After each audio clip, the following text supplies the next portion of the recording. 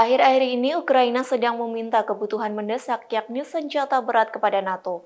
Namun pasukan Rusia menemukan peralatan perang modern milik NATO yang digunakan Ukraina. Terungkapnya peralatan perang membuat Rusia tahu bahwa NATO mendukung Ukraina dalam pengembangan unit perang. Dikutip dari tribunmedan.com, pasukan militer Rusia menemukan peralatan perang milik NATO. Peralatan perang modern tersebut ditemukan pada Kamis 7 April 2022. Tentara Rusia menemukan peralatan perang tersebut di sebuah gedung di kawasan industri pertahanan Ukraina. Rupanya industri itu merupakan pabrik untuk membuat kendaraan lapis baja.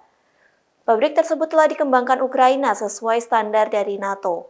Senjata modern yang ditemukan pasukan Rusia di antaranya sistem rudal anti pesawat, portable Stinger, berbagai sistem anti tank. Ternyata senjata tersebut kerap digunakan tentara Ukraina saat terjun ke medan perang. Peralatan perang tersebut merupakan satu di antara peninggalan ketika formasi rezim Kiev selama retret.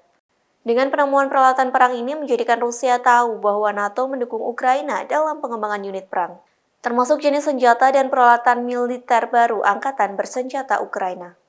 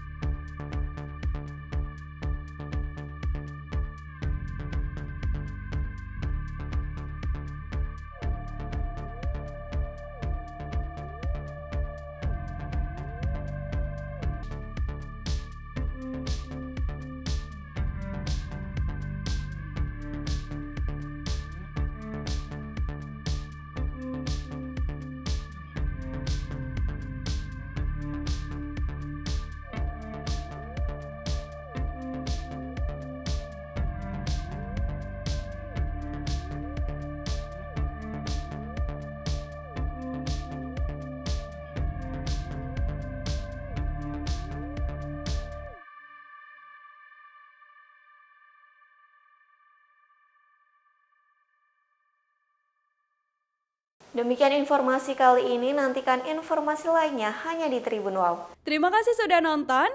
Jangan lupa like, subscribe, dan share ya.